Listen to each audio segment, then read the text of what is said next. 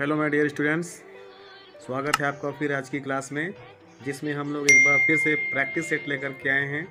यहाँ पर आपके चार विकल्प दिए होंगे। इन चारों विकल्प में से किसी एक विकल्प को आपको जो ब्लैंक है, खाली स्थान है, उसमें फिलअप करना है। आइए शुरू करते हैं।